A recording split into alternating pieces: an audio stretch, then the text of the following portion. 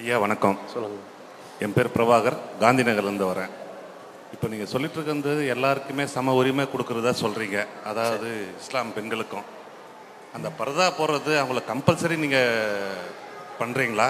இல்லை அவங்க விரும்பி எடுத்துக்கிறாங்களா? சரி. அந்த ஒரு டவுட் எனக்கு நல்ல கேள்வி. இப்போ சம உரிமை வழிபாட்டு உரிமைகளிலும் சொத்துரிமைகள் எல்லாம் கொடுக்கப்படுது. பெண்கள் கண்ணியப்படுத்தப்படுறாங்கன்னு சொல்கிறீங்க ஆனால் இந்த ஃபர்தா அப்படின்னு போடுறது மட்டும் ஆண்களை பார்த்தீங்கன்னா அவங்களுடைய வகையில் ட்ரெஸ் போட்டுக்கலாம் விருப்பப்படி. பெண்கள்னா ஒரே மாதிரி கருப்பு ட்ரெஸ்ஸை போட்டு முகம் கையை தவிர மற்ற எல்லாத்தையும் மறைச்சிட்டு சில பேர் மூஞ்சியை கூட மறைச்சிட்டு இப்படி போட்டு இருக்கிறீங்களே இது இது சம உரிமை மாதிரி தெரியலையே என்கிற ஒரு கேள்வி இருக்குது. அப்போ இது பற்றி இஸ்லாம் என்ன சொல்லுது என்பதை நம்ம பார்க்கணும். பொதுவாக ஒரு ஆண் எப்படி படைக்கப்பட்டிருக்கிறானோ அதை விட சில வித்தியாசங்களோடு தான் பெண்கள் படைக்கப்பட்டிருக்கிறாங்க. ஆண்களை பார்த்தால் பெண்களுக்கு ஈர்ப்பை ஏற்படுவதை விட பெண்களை பார்த்தால் ஆணுக்கு ஈர்ப்பு ஏற்படும் வகையில் தான் பெண்கள் படைக்கப்பட்டிருக்கிறாங்க. அந்த அடிப்படையில் இஸ்லாமிய மார்க்கம் வந்து ஆணினத்தை காத்துக்கொள்வதற்கென்று ஒரு ஆடை ஒழுங்குமுறை. நீ இவ்வளவு மறைச்சா போதும். கூடுதலாக நீ மறைச்சிக்கலாம். இவ்வளவு மறைச்சா போதும். பெண்ணினத்தை காத்துக்கொள்வதற்காக அவர்களுக்கு ஒரு ஆடை முறை நீ இவ்வளவு மறைக்க வேண்டும் எவ்வளவு மறைக்க வேண்டும்? முகம் கை மணிக்கட்டை தவிர மற்ற அனைத்தையும் நீ மறைத்திருக்க வேண்டும் என்று பெண்ணுக்கு சொல்கிறது. இது பெண்களை கொத்தடிமைப்படுத்துவதற்கல்ல அவர்களை காப்பாற்றுவதற்காக.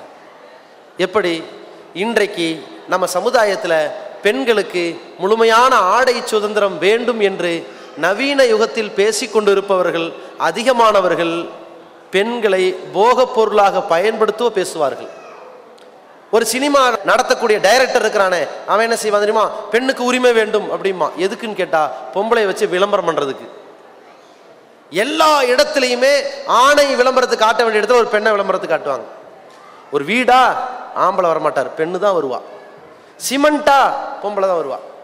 அப்பளத்தை பொறிக்கிறதா அதுக்கு வேணா ஆம்பளை வருவான். இன்னைக்கு அப்படி ஆகிப்போச்சு தொலைக்காட்சியில் எல்லா விளம்பரத்துக்கும் பொம்பளை. ஆனால் சமைக்கிறதுக்கு மட்டும் ஆம்பளை. எங்கேயாவது பொம்பளை கட்டிருக்கானா? அது இல்லாமல் போயிடுச்சு அதனாலே நம்ம ஆட்கள் சமைக்க பறகிற வேண்டி இருக்குது.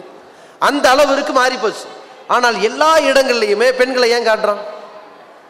அட சேவிங் செட்டு விளம்பரத்துக்கும் பெண்ணுக்கும் எந்த சம்பந்தம்? அதில் பெண் வந்து நிற்பா ஏன்? அதை பார்த்தா தான் விளம்பரத்தை பார்க்குறாம சேனலை மாற்றாம உட்காருவான் இவன் பார்த்துட்டான். அப்போ போக பொருளாக இங்கே பெண் இருக்கிறாள். ஒரு கிரிக்கெட் நடக்குது. கிரிக்கெட்னா என்ன? மட்டையை பிடிச்சிட்டு பந்த போய்கிட்டே இருப்பான். அது ஒரு கிரவுண்டு ஒரு சிக்ஸரு ஒரு ஃபோரு ஒரு போல்டு விக்கெட்டு பார்த்துட்டு போக வேண்டியதானே அதில் ஒரு பால் போட்டதுக்கு இங்கே நாலு பேர் இருந்துச்சு ஆடுவாளுவ கரெக்டாக என்ன செய்வான்? ஒரு சிக்ஸர் அடிச்சிருப்பார் அப்படியே இங்கே நாலு பொம்பளைங்களை காட்டினவுடனே நம்மளும் உட்காந்துறாங்க செம அட்டி எது? என்ன பார்த்துட்டு இருக்கிறான்? எதுக்காக உட்காந்துட்டு இருக்கிறான்? ஒரு ஓவர் முடிஞ்ச உடனே அடுத்த ஓவர் ஆரம்பிச்சிடும் அதுக்கு இடையில என்னன்னா விளம்பரம். என்ன நாலு பொம்பளைக்கு டான்ஸ் ஆடிட்டு இருப்பாளுவ இதுக்கு பார்க்குறானா இல்லையா? எல்லா இடங்கள்லையுமே இந்த காம சிந்தனையின் அடிப்படையில் தான் அந்த பெண்கள் கொண்டு வந்து நிறுத்தப்படுவார்கள். தலைக்கு ஷாம்பு போடுங்கன்னு சொன்னால் போதும் குளிச்சு காட்டணுமா? அத்தனையும் இந்த பொம்பளை வச்சு செய்வான். இருக்கா இல்லையா? அப்போ இந்த அளவிற்கு அதிகமான போகப் பொருளாக பெண்கள் பயன்படுத்தப்பட்டு கேவலப்படுத்தப்படுகிறார்கள்.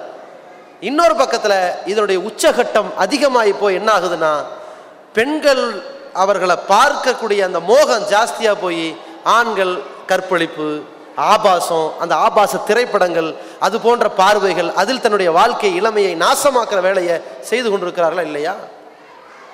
அப்ப இஸ்லாம் என்ன பண்ணுது? இந்த பெண்ணினத்தை காக்க வேண்டும் என்றால் அவருடைய மானத்தை காக்க வேண்டும் என்றால் ஆடை ஒழுங்கு முதல்ல தேவைப்படுகிறது. ஆடையை மட்டும் நிறுத்தல. அவருடைய பேச்சில் ஒரு ஒழுக்கம் வேண்டும்.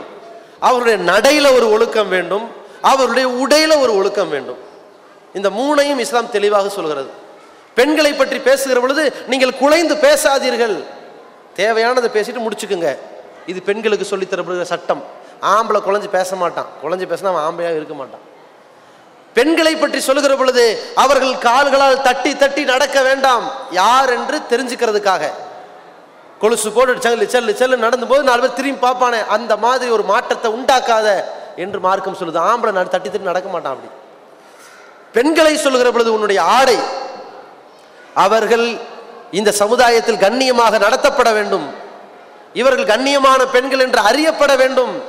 இவர்கள் எந்த பாதிப்புக்கும் ஆளாகாமல் இருக்க வேண்டும் என்றால் அவர்கள் இந்த ஆடை அணியட்டும் நல்லா சொல்கிறோம் எந்த ஆடை? குறிப்பாக கருப்பு ஆடைன்னெலாம் கிடையாது. தன்னுடைய முகம் கையை தவிர மற்றதை மறைத்திருக்கிற ஏதோ ஒரு ஆடை. கருப்பு தாங்கிறது பெண்கள் அவங்க விருப்பத்தில் தேர்ந்தெடுத்துக்கிட்டு இருக்கிற கலர் சில நாடுகளில் பார்த்தா ப்ளூ கலரில் யூஸ் பண்ணுவாங்க. சில நாடுகளில் சிவப்பு கலரில் யூஸ் பண்ணுவாங்க. சில நாடுகளில் ப்ரௌன் கலரில் யூஸ் பண்ணுவாங்க. ரொம்ப ரேராக வெள்ளை கலரில் யூஸ் பண்ணுவாங்க. என்னன்னு கேட்டிங்கன்னா அது வந்து வெள்ளையாக இருந்தால் அந்த அழுக்குப்படாமல் பாதுகாக்கிறது ரொம்ப கஷ்டம். கருப்பாக இருந்தால் அது கொஞ்சம் அட்ஜஸ்ட் பண்ணிக்கலாம். அதுக்காக டார்க் கலரில் யூஸ் பண்ணுவாங்க. அதே நேரத்தில் வெள்ளையாக இருந்தால் லைட் கலராக இருந்தால் தன்னுடைய உடல் பரிமாணத்தை காட்டும் வகையில் இருக்கும். கருப்பாக இருந்தால் அது இருட்டாயிரும். காட்டாது. அதுக்காக யூஸ் பண்ணுவாங்க. அதனாலே தவிர இந்த கருப்பு தான் போடணும் என்ற சட்டம் இல்லை. ஒரு ஆள் ஒரு பெண்மணி என்ன செய்கிறாங்க சிம்பிளாக ஒரு சுடிதார் போட்டிருக்கிறாங்க. ஃபுல் கை சுடிதார் போட்டிருக்கிறாங்க. ஒரு பெரிய ஷாலை போட்டு மூடி இருக்கிறாங்க. அவர்களுடைய உடல் மறையுது முகம் தவிர மற்றெல்லாம் மறைந்திருக்கிறது. போதுமே. இஸ்லாம் வந்து அது போதுங்கிறது. ஆனால் இன்றைக்கு நம்ம நாட்டு நடப்பு என்ன? ஆண்கள் வழிகெடுகிறார்கள் எதை வைத்து? ஆடைகளை வைத்து.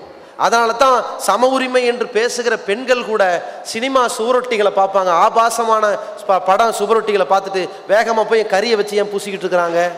இதை ஆண்கள் பார்க்கக்கூடாது. இது பெண்ணினத்துக்கு கேவலங்கிறாங்க நிரோபயா மேட்டர் பிரச்சனையாச்சுல்ல? டெல்லியில்? அந்த டெல்லியில் நடந்த பிரச்சனையின் பொழுது அங்கே இருக்கக்கூடிய பெண்கள் என்ன செய்தார்கள்?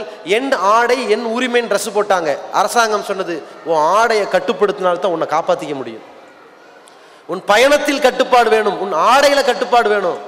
அனைத்தையும் குறைத்து விட்டு ஆம்பளை மேல குறை என்று சொன்னால் எப்படி? தவறு யார் மேல் இருக்கிறது? தொடக்கம் எங்க இருக்கிறது? வேர் எங்க இருக்கிறது? அதை சீராக்க வேண்டும். இதை இஸ்லாம் சொல்லும். இன்னைக்கு பாருங்க இஸ்லாமிய மார்க்க அடிப்படையில் நடக்கும் முஸ்லிம்களை எதிர்க்குவதை கொள்கையாக வைத்திருக்கிற பாஜகவில் அதனுடைய மூத்த தலைவர்கள் பலரும் என்ன சட்டம் சொல்றாங்க? ஏராளமான கற்பழிப்புகள் நாட்டில் அரங்கேற்றப்படுகிறது. என்ன தண்டனை கொடுக்கலாம்? அவர்களை இஸ்லாமிய மரண தண்டனை கொடு இஸ்லாமிய அடிப்படையில் குற்றவியல் சட்டத்தை நிறைவேற்றணுங்கிறாங்க. அதே மாதிரி இது மாதிரி மானக்கேடான காரியங்கள் நடக்காம இருக்கிறதுக்கு என்ன செய்யலாம்? பெண்களுக்கு ஆடை கட்டுப்பாடு கொடுக்கணும். சில மகாராஷ்டிரா போன்ற மாநிலங்களை எல்லாம் திட்டவட்டமாக அறிவித்தார்கள். பள்ளிக்கூடங்களுக்கு செல்லுகிற பெண்களுக்கு குட்டை பாவாடையை தடை பண்ணணும் நாங்கள் ஆடையை முழுசா போடுனாங்க. தமிழக அரசு கூட சுற்றறிக்கை அனுப்புச்சு. பெண் ஆசிரியைகள் பாடம் நடத்தும் பொழுது முழுமையான ஆடையை போட்டு பாடம் நடத்துங்கள். ஏன்? பாடம் நடத்துகிற இருக்கிற இடத்தில் அந்த தகுதி பெற்றிருக்கிற ஆசிரியையை ஒரு மாணவன் தாய் மாதிரி அல்லவா பார்க்க வேண்டும். ஆனால் அந்த உடல் அந்த துணி அவனை தாய் மாதிரி பார்க்க வைக்காது வேற மாதிரி பார்க்க வைக்கும். அந்த ஆடையை சரி செய் என்று ஏன் சுற்றறிக்கை வந்தது? இதுதான் பக்குவமான முடிவு. இது கொத்தடிமைத்தனம் அல்ல. அதே மாதிரி அந்த மகாராஷ்டிராவில் ஒரு பாஜகவினுடைய ஒரு மூத்த அமைச்சர் என்ன செய்கிறாரு அறிவிக்கிறாரு. துணிக்கடைகளில் கூட அந்த துணிக்கடைகளில் வெளியே மாடலுக்காக பெண் சிலைகளை வைத்திருப்பார்கள். அந்த சிலை வைக்கிறத முதல்ல தடுக்கணும்னா. சிலைகளில் சில பெண் டெமோ வச்சு அதில் சுடிதார் மாதிரி மாட்டிருக்கானே அதுவே ரொம்ப மோசமாக இருக்கிறது. ஆபாசத்தை தூண்டுகிறது. அதை முதல்ல தடுக்கணும்னா. அந்த அளவிற்கு அந்த மக்கள் மன்றத்தில் எந்த அளவிற்கு ஆண்களுடைய உள்ளம் பாதிக்கப்படுகிறது என்பதை உணர்ந்து இன்றைக்கு பேசுகிறார்கள். அதைத்தான் இஸ்லாம் சொல்கிறது பெண்களுக்கு அதை மூட வேண்டிய அவர்கள் மறைக்க வேண்டிய பகுதிகள் இருக்கிறது கண்ணியத்தோடு அவர்கள் நடக்க வேண்டும் என்பதற்காக. மைசூரில் தொடர்ச்சியான வழிப்பறி. அந்த நேரத்தில் அந்த காவல்துறையுடைய மூத்த அதிகாரி என்ன செய்கிறார் ரோட்டு ஓரத்தில் ஒரு வாகனத்தை வைத்துக்கொண்டு காரில் பார்த்து ஜீப்பில் பார்த்தீங்கன்னா போலீஸ் வண்டியில் நிறைய ஷால் இருக்குது. அங்கே இருக்கிற பெண்களையெல்லாம் வர வச்சு இங்கே வா. முஸ்லீம் இல்லை அவர். இங்கே வா. வழிப்பறியா இருக்கா? இங்கே வா. இந்த ஷாலை தூக்கி போத்திக்க. காதை மூடு. கழுத்து மூடு போ. இனிமேல் வழிப்பறி நடக்காது போ. முதல்ல நீ உன்னை பாதுகாத்துக்கொள். காதலையும் கழுத்தையும் மூடி வைத்தால் இனிமேல் வழிப்பறி செய்கிறவன் இழுக்க மாட்டான் கழுத்தில் கையை வைக்க மாட்டான். இது பொருளை விட்டு காப்பாத்துறது. இந்த பெண்ணையே காப்பாத்துறதுக்கு உன்னுடைய ஆடையை வைத்து ஒன்றை நீ காப்பாத்திக்க. இது இஸ்லாம் சொல்லும். அந்த அடிப்படை தான் இன்றைக்கு ஒரு மிகப்பெரிய ஆண் வர்க்கத்தினருடைய தாக்குதலுக்கு இரையாகாமல் இருக்க வேண்டும் என்றால் பெண்களுடைய ஆடை பாதுகாப்பு இருக்கணும். இரண்டாவது பெண் இனத்தை ஒரு மூடி பொத்தி வைக்கப்பட்ட நிலையிலே இந்த ஆண் பார்க்கிற நேரத்தில் அவன் திருமண வாழ்க்கையை சந்திக்கிற பொழுது தன்னுடைய தேவையை நிறைவேற்ற செல்கிற நேரத்தில் அவனுடைய உடல் ரீதியான உற்சாகமும் அந்த ஆண்மை ரீதியான புத்துணர்வும் எப்பொழுது இந்த பெண்ணை போகப்பொருள் ஆக்கிவிட்டார்களோ ஆக்கி விட்டார்களோ அனைத்து பகுதிகளையும் சாதாரணமாக மாற்றிவிட்டார்களோ ஆபாச படங்களை காட்டிவிட்டார்களோ அதை பார்த்து ஆண்கள் தங்களுடைய ஆண்மைகளை எல்லாம் எ- இழந்து பெண் அடிமைகளை விட மிக மோசமான கோழைகளாக மாறிவிடுகிறார்கள். பெட்டைகளாக கோழைகளாக போய்விடுகிறார்கள். முழுக்க முழுக்க அவர்களுடைய அந்த ஆபாச பார்வை டக்குன்னு பார்க்குறான். பார்த்த உடனே உள்ளத்தில் ஒரு சலனம் ஏற்படுகிறது. ஒரு வகையான உடல் ரசாயன மாற்றம் வருகிறது. கொஞ்ச நேரத்தில் அது அடங்கி விடுகிறது. மீண்டும் பார்க்கிறான். மீண்டும் ஏறுகிறது அடங்குகிறது. இப்படி மாறி மாறி மாறி ஆண்மை குறைவே ஏற்பட்டு விடுகிறது. யாருக்கு அந்த எண்ண ஓட்டம் உற்சாகம் ஏற்படுகிறதோ உடனடியாக அவன் அதை தீர்த்து கொள்ள வேண்டும் என்பதுதான் அவனுடைய உடல் ரீதியான நிலை. ஆனால் அதை நாசமாக்குவதே இந்த ஆபாசங்கள் என்பதை இன்றைக்கு நவீன காலத்தில் கண்டுபிடிச்சிருக்கிறாங்க. அப்ப இஸ்லாமிய மார்க்கம் இதையெல்லாம் கருத்தில் கொண்டு இதை மாற்றிச்சு. ஆனா நம்ம நாட்டினுடைய நடவடிக்கைகளை பாருங்க. பெண்களுடைய ஆடையை மூட வேணாம் மூட வேணாம் என்று சொல்பவர்கள் எல்லாருமே காலப்போக்கில் எப்படி வந்துட்டாங்கன்னா அந்த காலத்தில் பொம்பளை ட்ரெஸ் சேலையெல்லாம் போது இப்படி மூடியிருப்பா. ஆண் என்ன செய்கிறான் அந்த காலத்தில் ஒரு அரை டவுசர் தான். ஜாஸ்தி இருக்காது. அரை டவுசரை போட்டுட்டு துண்டை தூக்கி கழுத்து வச்சுட்டு போயிட்டுப்பான் அதெல்லாம் நீங்கள் பார்த்துருக்கீங்களா? அந்த காலத்தில். காலப்போக்கில் என்னாச்சு? ஆம்பளை ரொம்ப வெக்கப்பட ஆரம்பிச்சிட்டான். டவுசர் பேண்ட்டா ஃபுல் டவுசர் ஆகிடுச்சு அதுக்கப்புறம் என்ன? சட்டை போட ஆரம்பித்தான் அது அரக்கை சட்டையாக தான் இருந்துச்சு. வேட்டி சட்டை. நீங்கள் பார்த்தீங்கன்னா ஒரு முப்பது வருஷம் முன்னாடிலாம் அது இருப்பாங்க. அப்புறம் என்னாச்சு? இப்போ முழுக்கை ஆகிப்போச்சு இப்போ ஆம்பளை ஃபுல்லாக இருக்கான். கையை மறைச்சாச்சு காலை மறைச்சாச்சு சாக்ஸ் போட்டு ஷூவை போட்டாச்சு கை க்ளவுஸை தவிர அம்பிட்டு மறைச்சாச்சு. இதில் என்ன நினைக்கிறாங்கன்னா பெண்கள் இப்படி மூடி மறைக்காவிட்டால் எந்த உரிமையும் பெற முடியாது அப்படின்னு நினைக்கிறாங்க. முன்னாள் முதலமைச்சர் அவர்கள் ஆட்சிக்கு வந்தார்கள். ஆடை எப்படி இருந்தது? அனைத்தையும் மூடி வைத்திருந்தார்கள். ஏன் சலுகை இல்லையா? அதிகாரம் இல்லையா? நாட்டில் நடக்க முடியலையா? அதிகாரத்தை பெற முடியலையா? அதிகாரத்தோடு நடக்க முடியலையா? எல்லாம் இருந்துச்சு. எதுவும் பாதிக்கலையே. பெண்ணை விடுங்க. மன்மோகன் சிங் யாரு? ஒரு ஆண் தானே. அவர் என்ன செஞ்சாரு? அவர் தலை கூட விடலை. அதையும் மறைச்சிக்கிட்டாரு.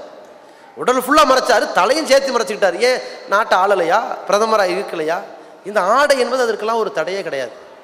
எப்பொழுது இந்த பெண்ணினுடைய ஆடைகள் அவிழ்கிறதோ விலகுகிறதோ அது ஆண் இனத்தை நாசமாக்கிவிடும். சமீபத்தில் காவல்துறை அதிகாரிகள்கிட்ட வந்து அதிகமான புகார்கள் சென்னையில். என்ன புகார்கள்? வீட்டை விட்டு வேலைக்கு செல்லும் பெண்கள் படுகிற அவஸ்தைகள். அதை பற்றி ஒரு கருத்து கணிப்பு உட்காந்து கேட்குறாரு நீங்கள் வீட்டிலேருந்து வெளியே போகிறீங்க உங்களுக்கு என்னென்ன டார்ச்சர் வருது? கேட்குறாரு அதில் அந்த பெண்கள் கண்ணீர் வடித்து சொன்ன கம்ப்ளைண்ட்டுகள் என்ன? ஒன்று முதல் பிரச்சனை என் புருஷன் என்ன சந்தேகப்படுறான்? என்ன? தலை சீவி சிங்காரிச்சு எங்கே வெளியே போகிற அப்படின்னு கேட்குறான் ஆரம்பத்திலேயே வீட்டிலே கலவரம். இதே நான் என்னைக்காவது சாதாரணமான முன்னாடி சட்டையெல்லாம் போட்டு ரொம்ப போத்திக்கிட்டு போகும்போது வாயவே திறக்கல என் புருஷன். கொஞ்சம் மேக்கப் பண்ணிட்டா என் புருஷனுக்கு சந்தேகம் வந்துருச்சு. முதல் பிரச்சனை இங்கிருந்து ஆரம்பிக்குது. அடுத்து என்ன?